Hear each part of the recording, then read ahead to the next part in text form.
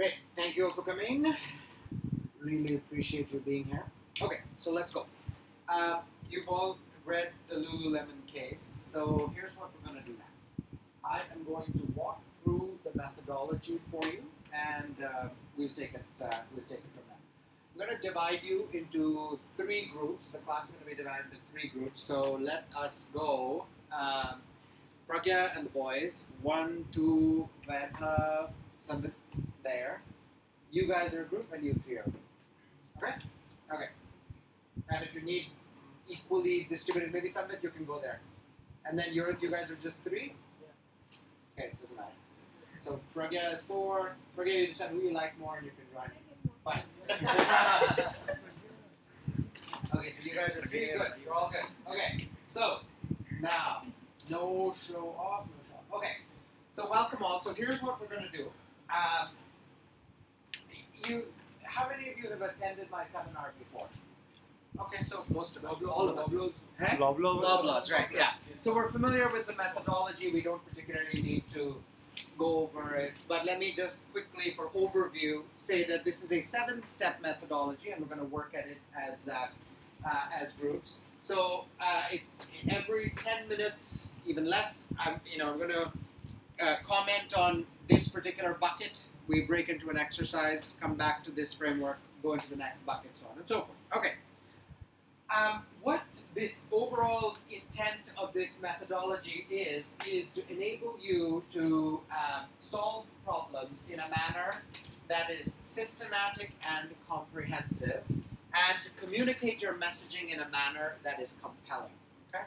And as you'll see, it is a very systematic methodology. In a, in a very systematic fashion, it forces you to look at every sector of the environment before you arrive at a decision. So there's a logic to where you're looking and why you're looking.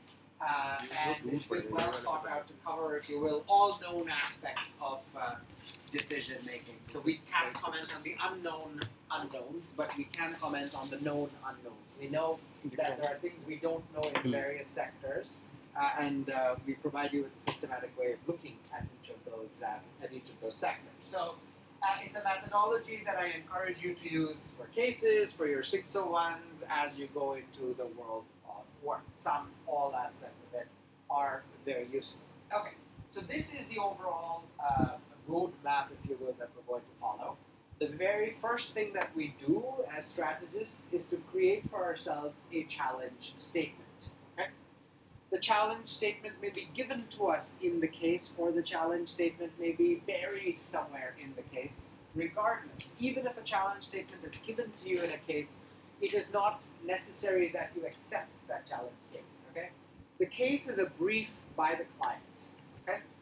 The case is a brief by the client, and you can decide to go with the client's definition, or you can provide an alternate definition. So think about it as uh, the client being the patient and you being the physician. So when I went to the physician and said, you know what, I think I've sprained my leg because I can't walk.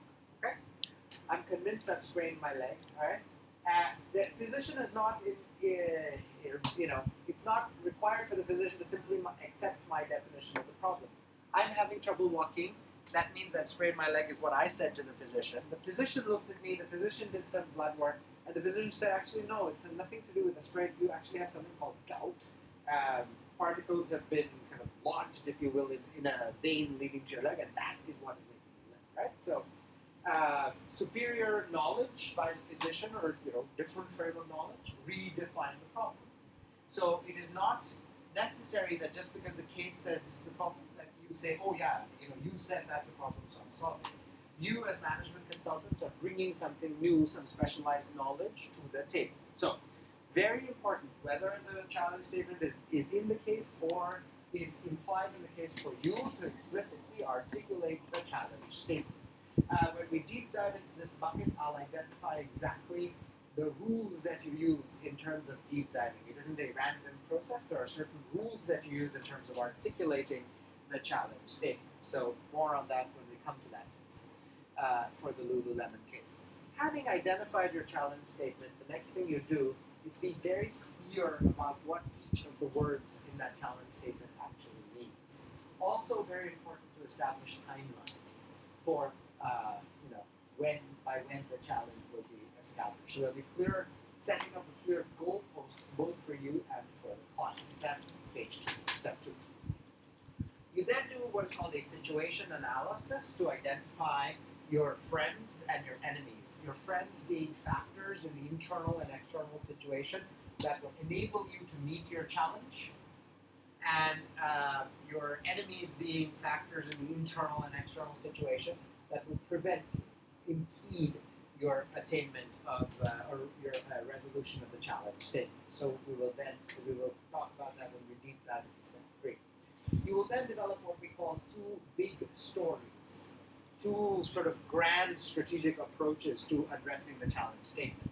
You will evaluate those challenge statements. You will uh, uh, uh sorry those big stories, and and pick one, and then you will talk about how you're going to execute that big story. Steps one through six are what we refer to as the back office of case analysis. We convert this back office into a compelling front office presentation. And the general story that you want to remember here is how you analyze is not how you present. Nobody is interested in your journey, everybody is interested in your destination. So how you analyze and how you present have, have very different logic. I stress this because I've listened to innumerable presentations and given innumerable presentations where I have laid out for uh, my audience the inner workings of my mind. I was fascinated by the inner workings of my mind, the audience wasn't. The audience was interested in my solution. So I'll give you a methodology that shows you how to make this work audience friendly. Okay? So seven steps. All right. So with that as background, we're going to deep dive into the first step, which is articulating the business challenge. Are we clear about the roadmap? Yeah? Are we good, Okay. All right, so let's go. So, the business challenge. The business challenge, there are certain rules. The first of which is you're going to start your challenge statement with the phrase how to or how do we. And the challenge statement has three key elements. Your challenge statement has to identify an outcome or outcomes of interest. What is it that you actually seek to attain? Your challenge statement needs to have a, a, a specific focus on a particular product and on a particular market segment. So, in other words, there are three components to a challenge statement.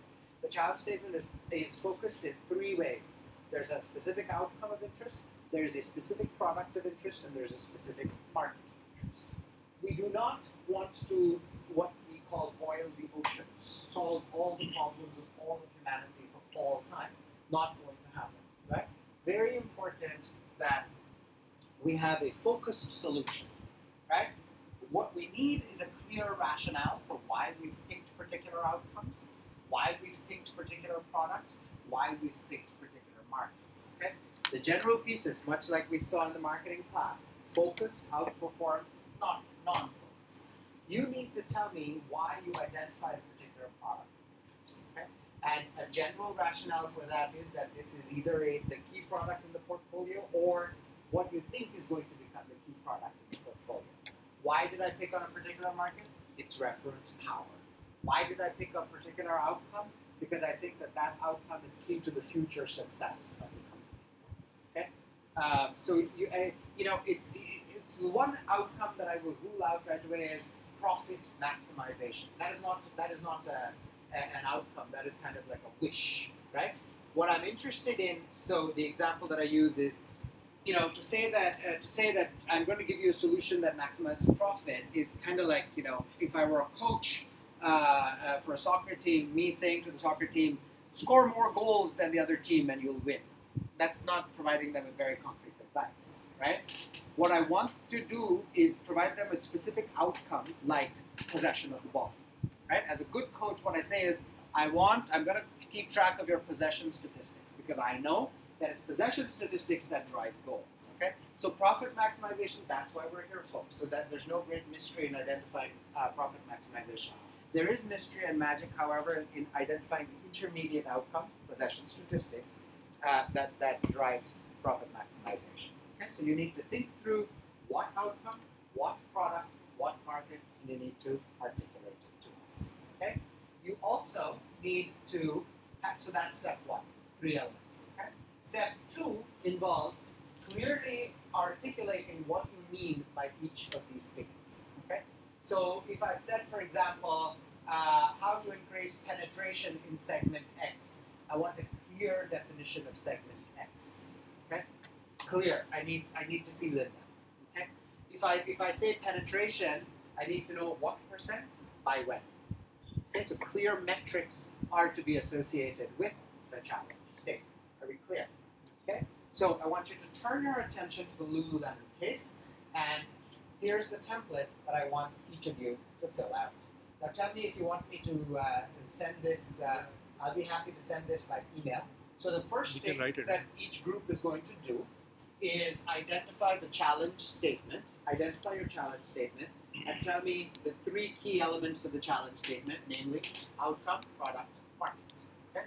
So just uh, you know, state the challenge statement. You okay? State the challenge statement and identify for me the, the three key elements. Okay. Now it is. Uh, I'm going to give you. Okay, actually, I'm going to give you two exercises.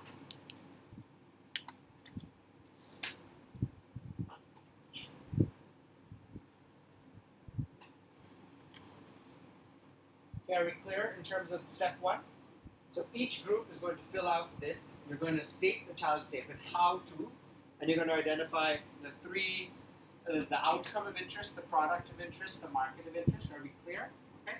And then uh, you- you're also going to do step two, which is Refining. um, what i- focus on each of those uh, outcome product market identify if there's a key word in there exactly what that word means and what the uh, uh, metrics and timelines are are we clear okay so let's start with step one now do you want me to email this to you okay, Yes. i will do that but you can start working on it while i do that तो जब आता है तब तक निकालते हैं ना मेरे हिसाब से तो ये है चैनल स्टेटमेंट की ये जो इसलिए i'm going to turn this off for a while yeah